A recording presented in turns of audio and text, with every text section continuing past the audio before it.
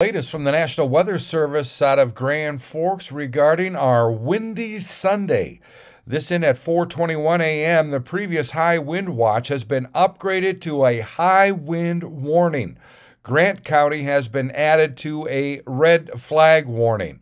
Strong westerly winds expected this morning and afternoon near critical fire weather conditions are possible in southeast North Dakota, with critical fire weather conditions expected farther south.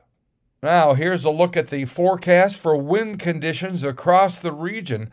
Uh, expected to hit the Devil's Lake Basin through 6 p.m., uh, the Valley 6 a.m. to 6 p.m., and east of the Red uh, River Valley 9 a.m. to 60 miles uh, to 6 p.m. Wind gusts up to 60 miles per hour will cause driving difficulties, loose debris, damage property, and cause power outages.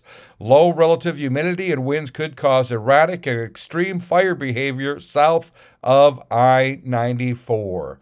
So keep that in mind. Whatever you plan to do outdoors today, it's going to be a windy one. I'm Neil Carlson reporting for iNewZ.TV.